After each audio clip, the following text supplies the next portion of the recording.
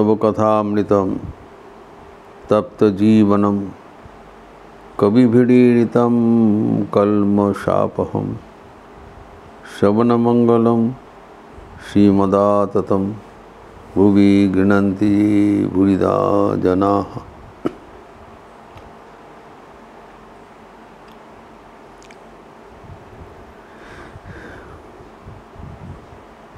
वैराग्य के बाद चल रहा था। कि वैराग्य अवलंबन करने से चित्तवृत्ति निरुद्ध होता है मन स्थिर हो जाता है। सो so, ये पूछा जाता है प्रश्न होता है what is the role of वैराग्य इन आर लाइफ हमारे जीवन में वैराग्य क्या योगदान है? वैराग्य हमारे जीवन में सबसे महत्वपूर्ण है, क्योंकि वैराग्य टेक्स अस टू गॉड वैराग्य अवलंबन करने से वो हमें आत्म वस्तु तक पहुँचा देते हैं, भगवान तक पहुँचा देंगे। योगा चित्तवृत्ति निरोध वैराग्य अवलंबन करने से मन शांत हो जाएगा, और उस मन में भगवान का छवि दिखाई पड़ेगा। और ऐसी जागतिक रूप से भी अगर मन वैराग्य के ज़रिए वैराग्य के साथ और एकाग्र करना हो गया, बस एकाग्र मन से असीम ऊर्जा, असीम क्षमता उपलब्ध होता है। तभी वैराग्य किसको कहलाता है? व्हाट इज़ वैराग्य इसके बारे में महर्षि पतंजलि उनके प्रथम अध्याय के पंद्रह पंचदश श्लोक में बता रहे हैं। जो दृष्ट अनुष्टविक विषय वितृष्णस्य, वशीकार संज्ञा वैराग्यम। द डेफिनेशन ऑफ़ वैराग्य एज पर स्क्रिप्चर्स जो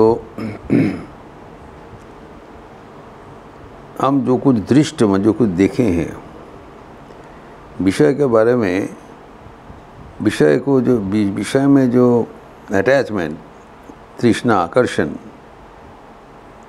उसके विपरीत का नाम ही वैराग्य है। तो विषय के प्रति आकर्षण कैसे होता है? दृष्ट अनुष्टविक विषय ना, अभी जो हम, जो देखे हैं, कोई भी वस्तु, कोई भी व्यक्ति को देखे हैं, जो हमें बहुत अच्छा लगा, लग सकता है। एवं हम कुछ देखे नहीं, बस सुने हैं। तो जो हम देखे हैं, इस दुनिया में देखे हैं, सुने हैं, टच किए हैं, उसका है, इसको कहलाता है कि यह यह काल यह लोक यह लोक में जो भोग है एवं जो परलोक सुना जाता है beyond the death there is something else कहा जाता है, स्वर्गवास होता है, स्वर्ग में नाना प्रकार का भोग सामग्री है। और जो आदमी है, वो चिरो चुबन है। जते भोग कर सकते हैं। ऐसी कल्पना। तो जो यो काल एवं परकाल, दोनों में ही जो कुछ हम भोग का कल्पना है, उसके प्रति तृष्णा, त्याग। बड़ी इम्पोर्टेंट बात बताया। जैसे कि पानी के लिए तृष्णा होने से क्या होता है? हम निरंतर पानी पीने के लिए इच्छा होता है। प्यास जब लगता है तब बारंबार पानी पीने के लिए मन की इच्छा होता है। वैसे ही जब विषय तृष्णा होता है, तब विषय सुख भोग करने के लिए मन में तीव्र इच्छा पैदा होता है, निरंतर भोग करने के लिए।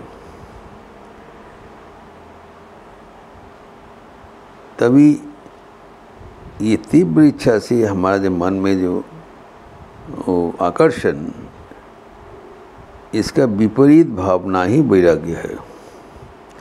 अर्थात जो विषय भोग में मेरा तुच्छता बोध तो तुच्छता बोध कैसे आएगा?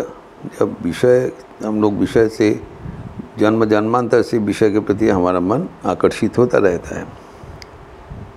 विषय के इतना कष्ट है जी इतना आकर्षण है भगवान का सृष्टि है। तो भगवान सृष्टि रचना करके इतना सुंदर चारों ओर फैला दिया, उसमें मन आकृष्ट हो जाता है। भगवान के प्रति मन नहीं जाता है। तो जब भगवान के प्रति नहीं जाता है और मन विषय के प्रति दबमान होता है, उसी को बीते तृष्णा कहलाता है। निरंतर चिंतन करते करते उसके प्रति हमारा एक आकर्षण पैदा होता है। जो भगवद गीता में द्वितीय अध्याय में कहा गया है, ध्याय तो विषयान पुंस संगत तीसु थे संगत संजायते काम, कामत क्रोधो भी जायते क्रोधोद्भवती सम्मोह सम्मोह सम्मोह स्मृति विभ्रम, स्मृति भ्रंशात बुद्धिनाशो, बुद्धिनाशात प्रनश्यति पतन का रास्ता बता दिया। तो वो एक का बाद एक के बाद एक जब हम आगे बढ़ते हैं, तब हमारा मन धीरे धीरे विषय के प्रति लिप्त हो जाता है। जो हम सुने हैं, ये काल के बारे में, ये लोक के बारे में, ये परलोक के बारे में तो सुनते ही उसके प्रति हमारी इच्छा पैदा होती है। इसलिए मन सर्वदा विषय उन्मुख होता है, विषयमुखी होता है। तो इससे हटने के लिए हमें क्या करना पड़ेगा कि मन में विपरीत भावना का चिंतन करना चाहिए। से बताया अध्याय तो विषयान पुंश संगस्तीशु उपजावती। जो विषय चिंतन करते करते, उसमें उसमें एक आसक्ति पैदा होता है। ये आसक्ति ही हमारे जीवन को नष्ट कर देता है। आसक्ति attraction attraction to worldly objects और वर्ल्डली सब्जेक्ट्स जब वही मन का आसक्ति हम भगवान के वो रिटर्न करते, तब कम बन जाएगा। जो कुछ भोग्य विषय हम सुने हैं और जो देखे हैं, वो पुनः दोहराने पुनः भोग करने के लिए जो मन का जो छिपा हुआ, जो कामना वासना है, इसके, इससे जो निष्क्रियता, तभी उसको वैराग्य कहला जाएगा। तो वैराग्य निष्क्रियता कैसे होगा? जब एक चुंबक से लोह का स्वाभाविक स्वाभाविक आकर्षण है। Magnet always attracts iron.